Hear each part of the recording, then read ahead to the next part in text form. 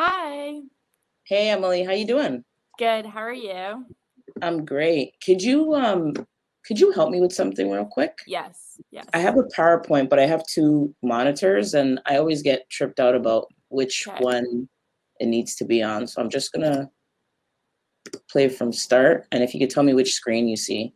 Yeah. Um okay, screen sharing ability. Right, okay, so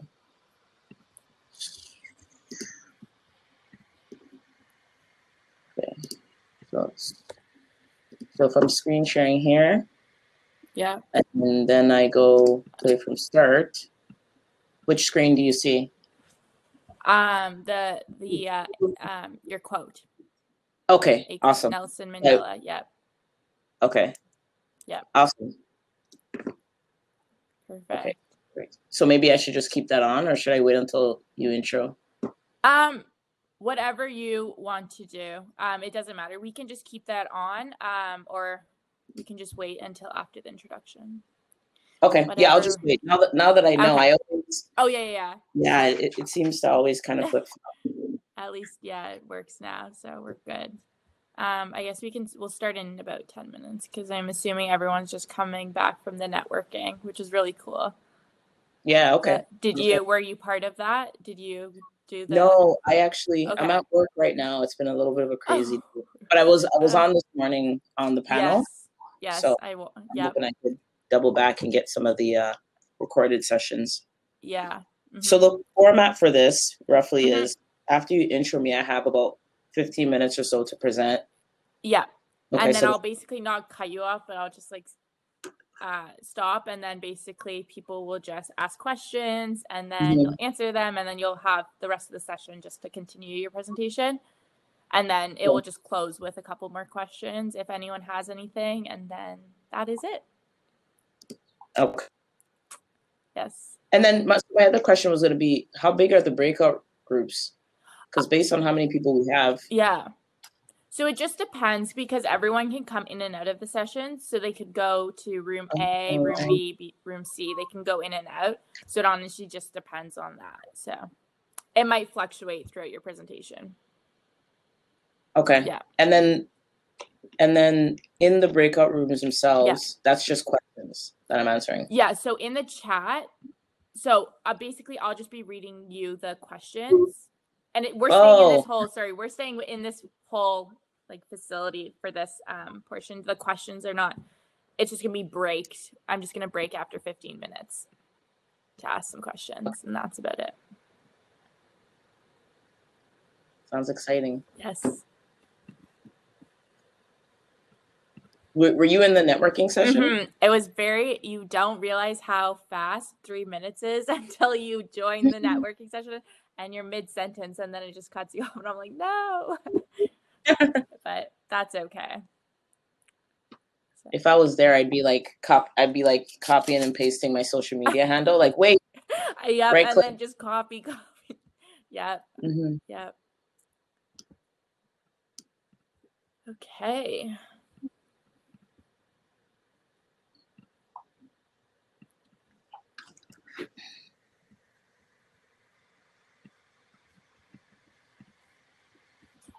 It's a cloudy day outside, so I'm happy that this is happening today and not a nice sunny day.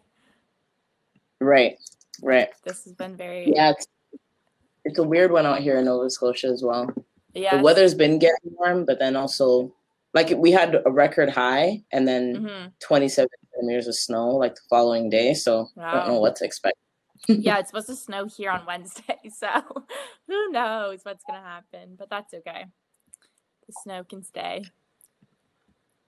And where are you in terms of the COVID stuff? Like, what what zone are you on? And Um, so I'm in I am in Burlington right now. So we're going into the gray gray zone. Um, I honestly just don't leave my house. so I am very isolated. I'm very I take yeah. So but London is changed. It's not in the gray zone, so it's different. Mm-hmm. That's pretty cool.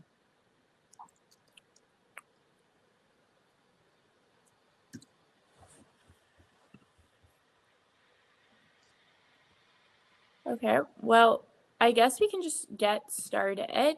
Um, maybe. I'm cool with that. Just so then you have ample amount of time and then you can ask questions and just everyone good to go. Okay. So I wish I welcome. could see people. Pardon me. I said I kind of wish I could see people. I know we can't I know. because of the phone. But- Yeah, I know. It's nice to see more than just us, but that's okay. Um, okay, so welcome to the first speaker session of the afternoon. My name is Emily Meriden, and I am a member of the Western Mustangs golf team. So this session will last about 40 minutes, with the speaker taking a break at 15 minutes to answer a few questions, and then return to the presentation, and we'll conclude with a few more questions. And I encourage you to use the chat function to generate conversation and question. And this will basically be how you communicate. So only presenters and moderators, so myself, will have access to the audio and visual components. So please use the chat function. Just ensure that the session chat is selected to communicate and ask questions throughout the session. So this being said, I am pleased to welcome you all to the Path to Being a Sport Activist led by Lee Anna Osei. Lee Anna is the founder and director of the Black Canadian Coaches Association and has founded the Canletes Sports, a non for profit organization that supports and empowers the continued presence of women in sport. A former U Sports and NCAA basketball superstar, Lee Anna is now the head coach of the women's basketball team at St. Francis Xavier University in Nova Scotia. She is also the instructor in the Department of Human Kinetics at St. FX. She's passionate, passionate about gender and racial equality, as well as leadership through sports. And in recent news, Lee Anna has been named one of the top 30 most influential Canadian women in sports by the Toronto Star. So during this session today, Lee Anna will share her experiences and explain the further the pathway to becoming a sport activist. So we are so pleased to have you, and I will just turn the floor over to you to begin your presentation.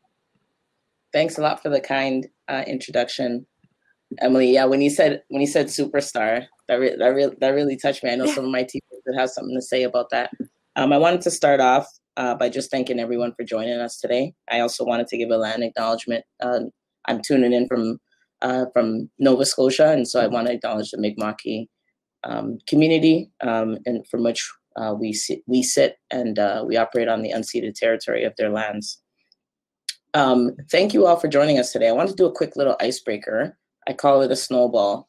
So when COVID hit, you know, a lot of coaches had to start getting really creative in terms of how we kept our, our student athletes engaged. So anyways, this snowball is just gonna help uh, Emily and I know where you guys are tuning in from. So if possible, I'd like you to write down like what sport uh, you're affiliated with or have been affiliated or even like, and where you're tuning in from. And how the snowball works is I'm going to count down from three, and you're and you're going to click enter. So you can start typing now, and I'll count down from three, two, one. London track, Toronto athletics, volleyball Oakville, washed up b-ball player living in Toronto, figure skating cool from London, Saskatoon track and field, hey Mavis, soccer Edmonton, all Mustang, all Mustang sports. Yes, for the multi-sport volleyball and rugby. Thanks so much, guys. I know we can't really see each other face to face, but I think it's just awesome to kind of get that going. Been to um, into this presentation, and I'm uh, going to screen share. Fingers crossed here, everything goes well. And play from start. So I wanted to start off uh, today with this really, really cool quote uh, that I had always, I wouldn't say I always heard it, but it's something that I would say in the last three or four years has started to speak to me more and more and more. Uh, it's a quote from Nelson Mandela, um, and it reads Sport has the power to change the world, it has the power to inspire, has the power to unite people in a way that little else does. It speaks to youth in a language they understand.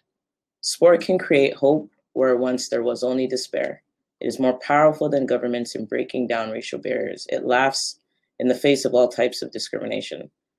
So today, I know I'm talking to you guys about pathways to being a sports advocate, Uh, the first half of our discussion, I'm going to talk a little bit about myself, um, which, to be honest, I wish I could talk about everyone else that I've been in contact with and I've been able to network with and learn from. But that'll be the first bit. And the second bit, I'm going to talk a little bit more about just different types of advocacy and how that has manifested itself in our Canadian sport community through some of the platforms uh, that I've been fortunate enough to work with. But this quote, I think, really speaks to my own journey through sport, um, and um, even more so, I would say today.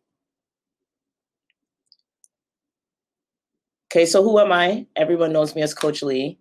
Um, my mother uh, was an immigrant. She came to Canada in the 70s. Uh, she knew little to no English. Uh, she had a fourth grade education, um, couldn't write, and uh, she also was pregnant with one of my eldest brothers. And uh, we had lo- we had uh, relocated at the time I wasn't born, of course, but um, we had lived in the Jane and Finch community, uh, and a lot of my upbringing was really centered around faith um, and just discipline, like faith and discipline. And very early on in my community, uh, we, we weren't in we weren't in the best community, I would say, for recreational supports and and safety in some cases. Uh, and because of that, I you know I was trying to find something to do. I, I had always been very active, and so I I naturally went to sports, right? And kind of thinking back to that to that quote, like sport is just something that acts as a tool for people to come together.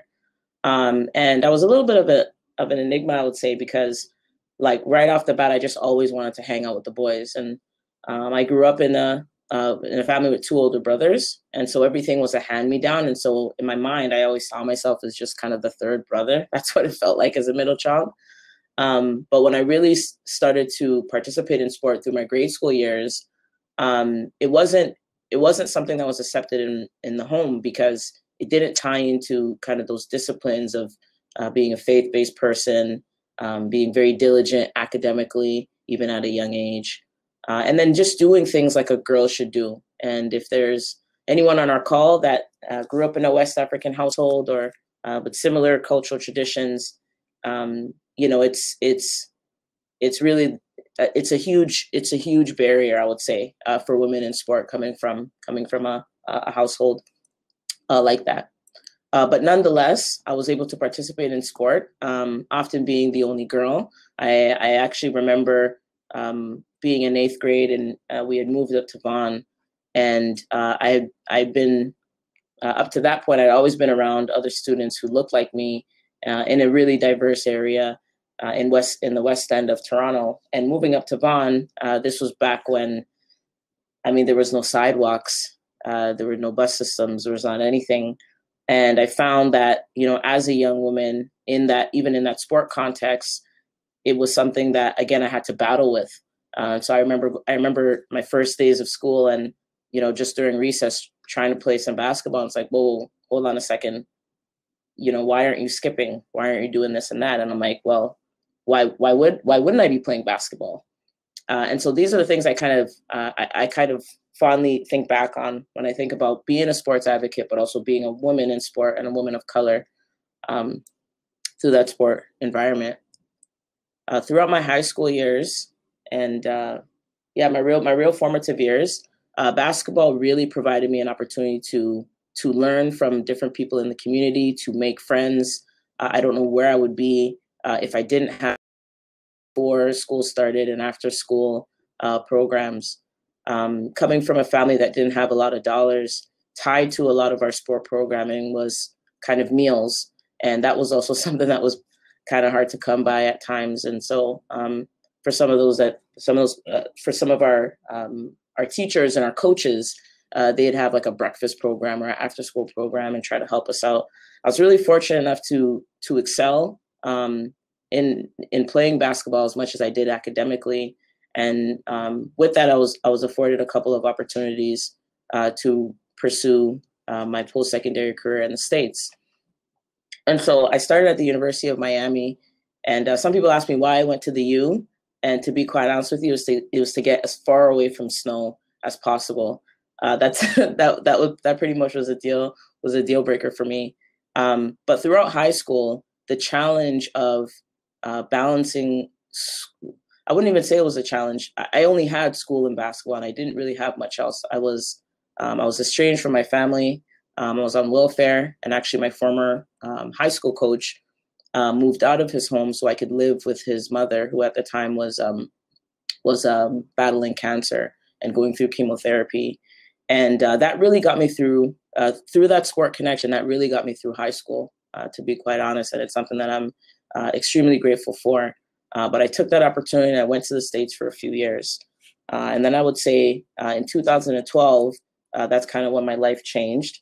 I've always had an older brother, and again, owing to some of my cultural traditions, um, my brother was was always heralded as kind of like our family hero, and he was a re- he was a good guy. You know, he was like a any older brother. Um, never really played any sport. Was extremely gifted. Was identified pretty early on. Uh, he ended up uh, attending Laurier University. Graduated top of his class. I think he scored in like the top five percentile in the province for his CA exam. Started working in the corporate world and my mother had reached out to me because um, he was having some health issues. And um, at the time, as, as I mentioned, I, uh, I hadn't been connected with my family for a few years.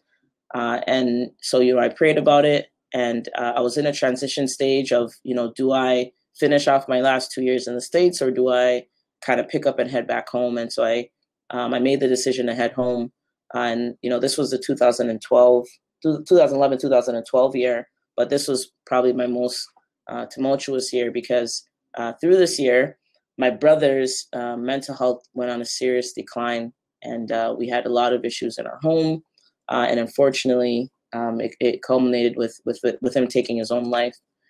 And as challenging and difficult as that year was um, my mother at the time actually was uh, was in the states when it happened and i had to call and and, and tell her what happened um, and it was it was I mean it's something that still seems surreal, still seems like it was yesterday. Um, but if there's one thing I could remember from uh, that year that my that my brother left us, it was his encouragement uh, for me as a young black female uh, to be that representation for other young women uh, who wanted to follow in my steps. Uh, or, or other West African household families, or any parents who are looking for support, or any prospective athletes that are looking for uh, pathways uh, to continue their involvement in sport. He actually gave me my first uh, hundred dollars uh, to um, uh, to to to start my first business, which is which is Canletes Sports. It's an organization, as Emily had mentioned, that's really um, devoted to enhancing those pathways, and specifically for basketball for many young women in the Ontario region. in honor of my brother, I decided to um, attend Wilfrid Laurier University and I was really fortunate enough to play there. Uh, I think a big shift for me again. We go back to that to that amazing quote from Nelson Mandela. I remember um, going into that summer. My brother had passed away right at the end of summer, right at the end of August. But going into that summer period, I wasn't even totally sure I wanted to continue playing sport. You know, in my mind, well, I'm not a fully scholarship athlete anymore, and you know now I'm in this phase of of working and and helping out at home and trying to kind of figure some things out. And uh, Coach Falco at the time at Laurier was talking to me a little bit about the program. My brother had actually helped me uh, apply uh, uh, there at Laurier. And when he had passed away, I, I only knew uh, one person on the team, and uh, that was Doreen. And I actually grew up with Doreen in the in the in the exact same housing complex in that Jane Finch area, and her family had had left as well um, uh, due to due to a lot of. Um, but the whole team actually drove down from Waterloo, Ontario, uh, to Toronto for my brother's funeral, and uh, it it single it, it in many ways is something that is always kind of entrenched in my mind as to kind of going back to again what basketball has been able to afford me, and uh, this team right here was my support system uh, through a really really challenging uh, time, and I was you know, it was the best decision I ever made uh, to surround myself uh, with my with my Laurier Golden Hawks family. Um, I was fortunate enough to uh, to play. We were a nationally ranked team, top five, I think, by last two years. We went to nationals. I was named an OUA All Star, and academically, um, I had a, an incredible time as well. I followed in my brother's footsteps to become uh, the second uh, graduate in our family, um, and then I was able to do a one-year master's. Um, and as I mentioned in 2012, uh, before my brother had passed, he he had encouraged me um, to really be that representation. And I found when I came back from the states, there were a lot of um, there were a lot of kind of gaps in terms of access to to uh, to sports and and in so many ways. I mean, I was working with Ontario basketball and I was helping with some talent identification and specifically I was in a lot of the marginalized communities. And so it allowed me to informally kind of be this liaison that could open up opportunities. Um, when we established Canletes, so Canletes is a Canadian athletes and kind of a mix of the of the two words. Uh, we used it uh, to create a platform where we can have events and where we can market the women's game because I found um, there was just a lot going on on the boys' side. I had started off coaching uh, while I was while I was in high school at Eastern, and so I, I was really familiar with the guys' side, but there there was just nothing on the side uh, for girls basketball, and so I was working with organizations like Jewel, I as I mentioned Ontario Basketball, North Pole Hoops, and really trying to just um, step up uh, step up and be that representation for the girls' side, and so that was uh that was in 2012 there. And then owing to that, um, I started to segue into more of a sport leadership role. So I had uh, finished my career at Laurier. Um, I was doing my master's and I was like, okay, I still want to be involved in what ways? And it was actually another female and the only woman of color uh, that I knew at that time in my in my um, in my basketball connections that opened up the door for me to coach with our provincial team. And you know, if, if anybody who, who's on the calls in the basketball space, like playing for Team Ontario or doing anything with Team Ontario, like that was where you wanted to be. Like that just was the gold standard. You know, I think that's I think a lot of it has changed now because there's so many different uh, groups and organizations and opportunities. Um, but you know, it was an amazing transition for me. Um, part of it also led me to uh, grow my networking circle, and I found myself employed as a full time um, high performance coach at uh, TRC Academy in Bradford, Ontario. And so uh, that's uh, on the bottom left. There's a picture of uh, the phenomenal young women that I was able to coach and um, and uh, and work with over the course of that year. Uh, and throughout that process of kind of really growing Canletes, um, being a little bit more visible, I found that I was able to help other young women and other families and uh, I, you know, I have so many memories of of specifically African families um, and and young women saying, "Coach Lee, can you talk to my parents?" You know, they don't think it makes sense for me to uh, to play sports. They don't see what the point of it is. I still remember those conversations, um, but I also remember, you know, talking to a lot of families and giving them some support from a recruitment standpoint. So, having played at the Division One level, having played at the Division One junior college level, and then finally finishing my career at the U Sport level, it it offered me a different kind of lens in terms of you know what is it that you're trying to accomplish in sport. Like I said, for me, I always wanted to be a coach, uh, and then how do we work backwards um, from that from that standpoint? Um, but just really being intentional again about providing those opportunities. Uh, in 2018-19, I was uh, really, really blessed. And um, I was hired as the head coach of women's basketball at St. FX University uh, in Nova Scotia, Canada. And so the year prior is when I was at uh, TRC Academy, uh, coaching at the prep level. Uh, and, you know, like God works in such mysterious ways because at the time we were in our off season uh, for TRC, kind of gearing up for year two and we had a phenomenal turnout with our program in terms of placing kids at um, at, at mainly American but also Canadian universities. We had some national team athletes. Um, we probably averaged about 100 uh, Division One coaches come into our institutions, and I had some job offers. And part of what I struggled with was, you know, I I I know that part of my purpose is helping to grow our sport capacity here in in uh, in Canada and I felt that going back to the States wasn't the right decision for me. At the same time, um, I loved what I did, but I but I really wasn't working for any money um, in in kind of my role in, in, in working at at that prep school level. And so it made it challenging. Again, as a first generation, I've got a lot of OSAP debt, um, but I'm but I'm absolutely loving what I do. And uh, my family actually had an intervention with me, and they were kind of like, Lee, you know, you've you've been able to support so much um, in terms of creating pathways. And you know why don't you just think about getting a real job right? And uh, in our keynote today for those of you that were on jada was talking a little bit about like when you get to a certain age or a certain time frame and you kind of start getting those questions. So what's next? Like what is sport really going to do for you? And um, and again i prayed about it and uh, and you know i also agreed. I said you know what? My passion for sport is not limited to the level i coach at you know as long as i can be involved in, in any capacity um, i'm going to be happy with what i'm doing um, but you know making those sacrifices for family. Uh, and so ultimately i started looking for jobs and um, in a in a really really strange way uh, i had three different people in my life in three different capacities tell me about this job opportunity. And so i interviewed for st fx university i interviewed uh, for upei and ultimately like i just thought this was an amazing opportunity to kind of be a uh, professional coach, U Sports obviously being um, the largest employer of professional coaches in the country. Um, I'll be honest, I didn't think I could do it. Um, I knew I was coming in, and I was also uh, the first female that the school's ever hired um, as a varsity coach. And you know, what would that mean?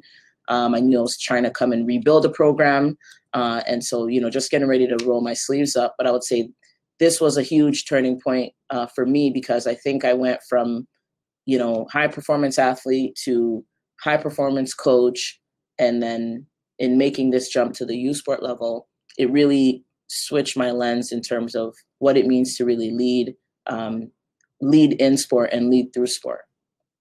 So with that, I guess I'm going to pause because I know we've got a a format that we're following.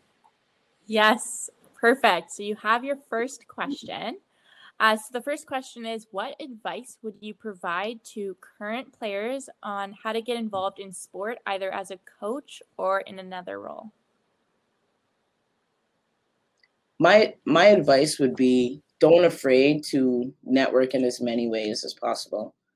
Um, I remember when I I remember in 2012 when I came back uh, from the states, I had this agreement with my mother. The agreement was I wasn't going to return to school right away. I was going to uh, I was going to work for a year, and I was working these really sketchy factory gigs uh, to help with uh, some bills at home while my brother was sick.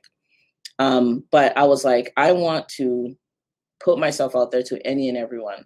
And so whether it was going to Humber College for Team Canada basketball camp, whether it was, you know, I was part journalist for North Pole Hoops covering some of their stories.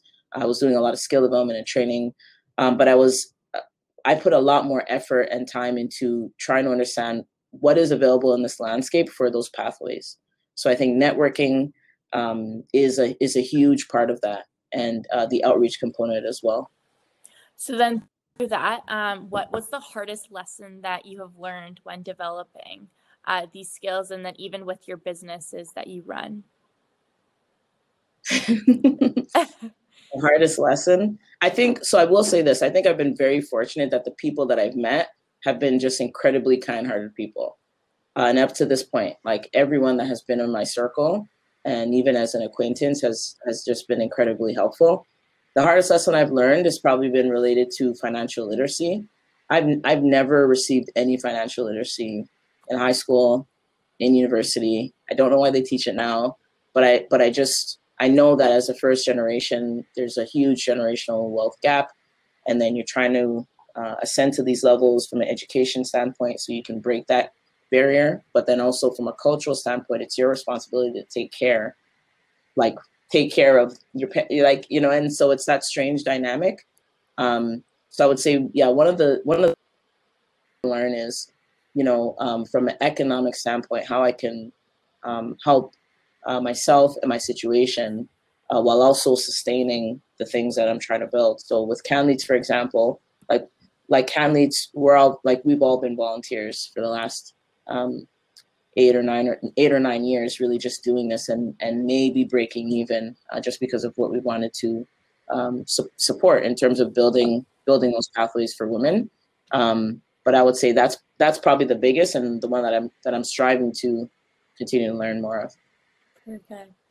So the next question is Do you feel overwhelmed to be an advocate um, for so many women and Black people? How do you deal with this responsibility? Is it overwhelming? Yes, uh, it absolutely is. I, to be honest with you, I think um, the timely break that we had this Christmas, I think, was huge for me, just from a mental um, capacity standpoint, a mental health standpoint. Um, when COVID hit, I was up, I was here in Antigonish, so I I live alone, uh, and um, I my mom told me, you know, there's no way you're heading back here with with COVID, and so I kind of was uh, just dealing with a lot with a with a lot that we're seeing in the media, and I think a lot of uh, people of color and allies can can kind of relate what to do, how to do it, um, you know, and then just also struggling, like again as a, a, as a female, right? Like in terms of understanding who I can talk to, and um, I think the greatest thing that has happened is with everything with COVID happening and everyone's response being, well, these social connections have to happen online now. It's been incredible for me because I've been able to create uh, different sport circles. Some partially because we're working together on some of these amazing initiatives, and some have come from um, just just a visibility piece, right? Like finding people that can relate to the position that you're in. Uh, so that's that's kind of one way I'm dealing with it. Is it's I'm constantly communicating with others. I've also been really fortunate here at St. FX that we've been full on in person. So I've been teaching all year. Uh, we're, we've been practicing five times a week. Like currently, we're on a hiatus, so the athletes can kind of focus on their schoolwork um, before classes are done but like that's been great for me as well just knowing i'm heading into work i'm doing something you know i'm not i'm not just kind of staring at a brick wall. And then lastly i've been very intentional about how i start my days. And i never really was that kind of person. I'm i, I usually am you know the alarm goes off i jump i jump out of bed and i'm just like what's next? What's next? And uh, i found in the last year and a half i really started to look within uh, my relationship uh, with christ has strengthened and every day I start with Bible study, and it has been just uh, um, it's been huge for me. Like just for uh, feeling at peace, just for understanding. Okay, these are the things that I got to do.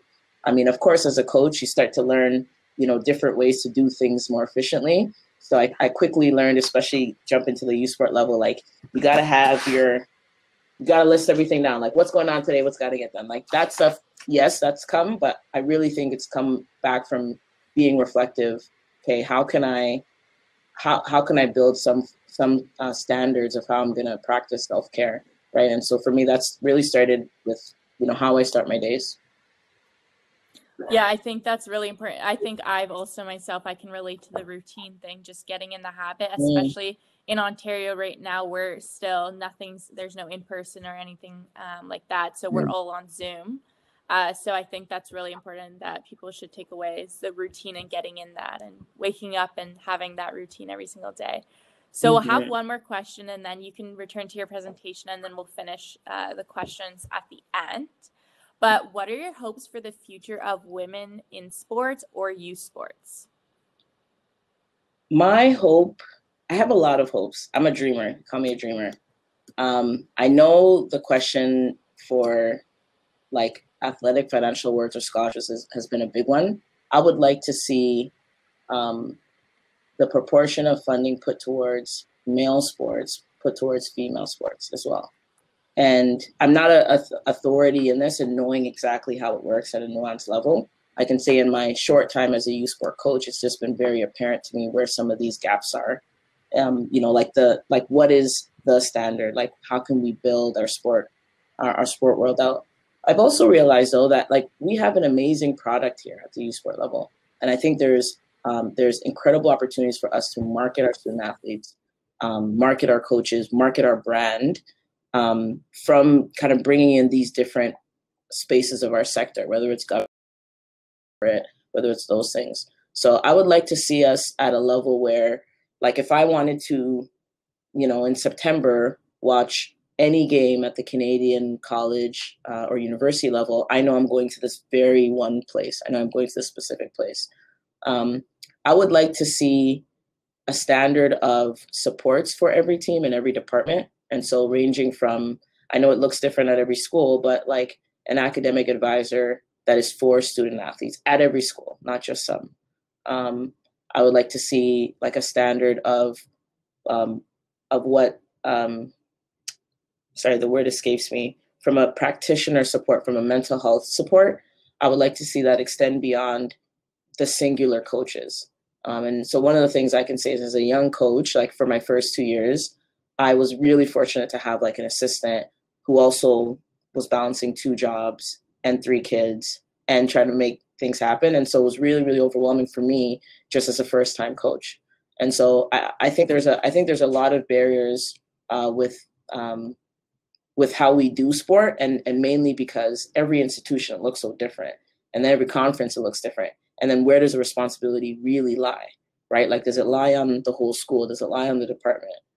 Does it lie on does it rely on U Sports? And um, owing to where we're at now we've been talking a lot about equity. I know almost everyone has heard about what happened with the ncaa in the tournament and that's not anything new. That's not covid specific. That's just that is how it's been but how can we in our U sports landscape and our CCAA landscape provide more opportunities, right? Like, so Steph, your question was even about U sports, but even on our CCAA levels, our college levels, like you wouldn't believe half of the challenges that coaches have and, and athletes by default of that have and where some of those gaps are. You know, there are coaches right now that that not only are they not able to coach, they can't even formally support their athletes.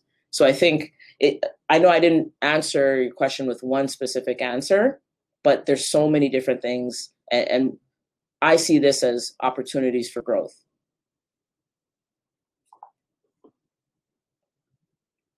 So am I, I'm, I'm jumping back into my yeah, presentation. you're gonna jump back into your presentation, and then we have about ten minutes, and then Cool. yes. Okay. goes- Okay, that's awesome. Yes, if I that's would, okay with I would you. like to. Yeah, I'll fly through the rest of the rest of the slides here, and it actually works out well. I'm not saying I did on purpose, but I could talk less about myself and answer questions about that. Uh, so screen share here, and then play from current. Uh, okay, awesome. Uh, so this screen you're looking at here are different um, aspects of our sport and sport supporting community that has really responded um, in in these events and these challenges that we that we are currently undergoing. Many of them related to COVID and being in the midst of a global pandemic, but then also like understanding that, you know, what does this look like for people of color, right? Um, the United Nations has declared uh, this decade as a people as a decade for people of of African descent. But I wanted to acknowledge this isn't by any means to show a comprehensive list of of who's doing what, but um, I'm just I want I wanted to say this. I'm incredibly proud of how our sport community in Canada specifically has responded to the call to action for underrepresented groups like women, uh, like people of color, uh, while everything has been heightened um, with COVID. So uh, the Canadian Center for Mental Health and Sport um, through the BCCA, we were able to partner with and uh, and launch a Black Student Athlete Mental Health Fund for um, for student athletes identifying as Black at Canadian colleges and universities. Um, professional sport leagues and amateur leagues have also stepped up and have been using their platforms. And shout out to the WNBA.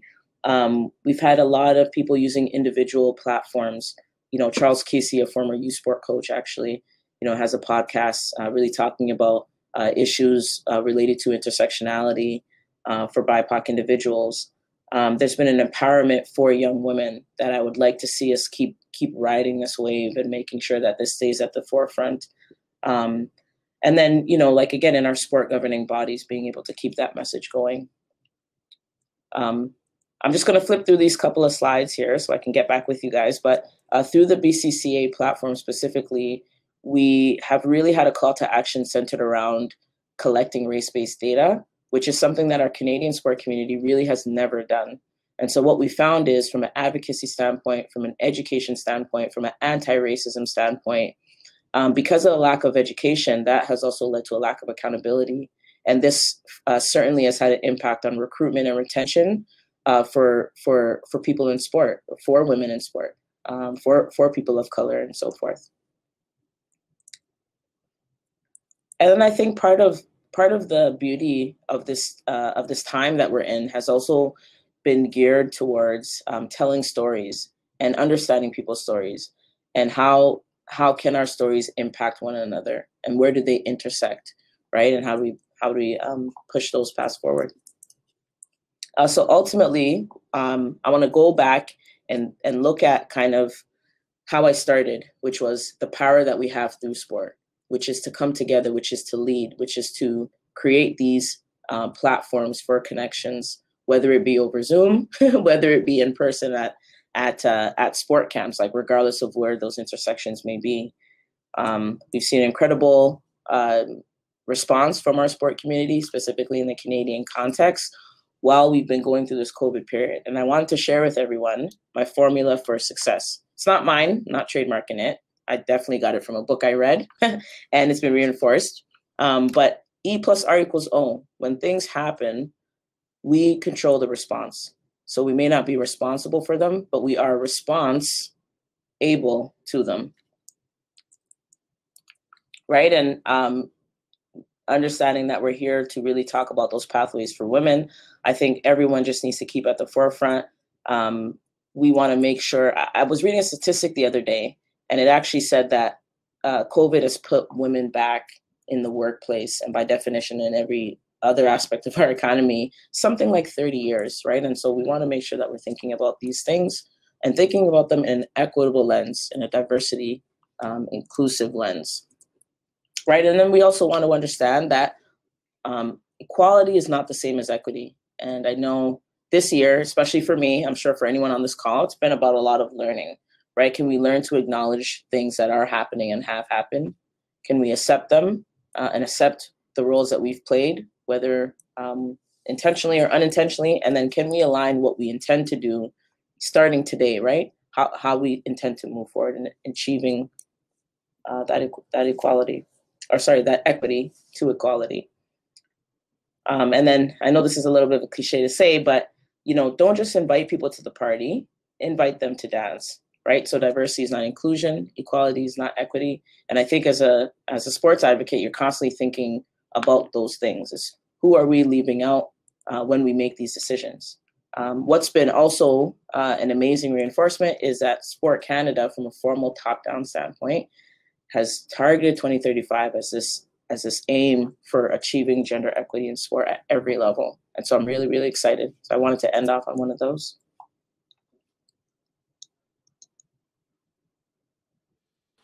Well, thank you. We're going to back into questions. Uh, so Nikki says your role at St. FX is so important and inspiring. Being the first coach who is women, a woman at St. FX and a woman of color, did you face systemic barriers upon rebuilding your program? Yes, Nikki, I have, and and you know, like I'm, I like I got to be honest. I I have been really privileged in my sport journey um, especially up to the point of coming to St. FX. And I, and I, I mean, I have privileges right now, but uh, again, I felt like I always had a really great inner circle growing up in the guy side, knowing the right people. Um, I think the change, figuratively and literally, of moving to a different province, um, being young, being a female, being black, being an outsider, um, a lot of these things, uh, I don't know if I could have prepared for them, but I certainly was naive to them. Uh, and um, I, I, think, yeah, it's uh, the the answer. The answer is is yes in a lot of ways. Um, and I don't think, and, and I know that my experience isn't isn't unique. That's something that I've I've found out over the last few years, and it has me always thinking about my why. Right, my why goes back to servicing athletes. My why goes back to um, being being a positive uh, role model and being that representation for other young women. My role also goes back to being intentional about creating uh, pathways uh, for young women who look like me and who are trying to accomplish uh, similar goals. Uh, because if I didn't receive that help, I wouldn't be here today. Um, you know, and so uh, even in facing these systemic barriers, as much as we're trying to break them down, I know that there's been incredible response, you know, from my institution, from our athletic department, uh, from different places in our sport community to to to address some of these gaps. I think that's really important too, and just recognizing that we want more generations, like our generations before us or mm-hmm. coming um, younger than us, um, to not have to deal with as many barriers as we currently face. So that's really important. Um, so our next question is from Caitlin, and she says, "If you were to be remembered for one thing as at your time as being head coach at St. FX, what would you want it to be?" Embracing diversity of thought and I found like just my journey through sport and I guess through life up until this point, I've always looked at things through a different perspective, usually like lesser than, but but always like, you know, what's what are we not saying? Like what's what's di- like you know how can we challenge the status quo? And I think I think in in being here at St. FX and in, in me being a woman of color um, here in the Maritimes and, and having an incredible opportunity to coach these young women, I think that's part of shaking that up. But I want to be remembered for diversity of thought. Uh, I want to be remembered for having a positive impact on our sport community. I, I, I truly feel like that's God's purpose for me here. And so I, I think that's why it's so hard for me to say what's my favorite coaching moment or anything like that. Um, but it would definitely be for bringing a, a diversity of thought to how we do sport. Well, thank you so much, uh, Lee Anna, for sharing your experiences and knowledge with us. Uh, I wish we obviously had more time, um, but I truly appreciated learning about the different ways that women can get involved to becoming a sport activist. And I really liked the cliche comment when you said, don't just invite people to the party, invite them to dance. I think that's so important just to make sure that everyone's included and making sure that we really practice equity, diversity, inclusion. So thank you so much. Um, so now everyone who's in this call can just exit and go to the sessions button uh, just to click to the next live event, which begins at 1.50. So thank you everyone for attending. Thanks, Emily. Thank you, Vicky, Coach Vicky.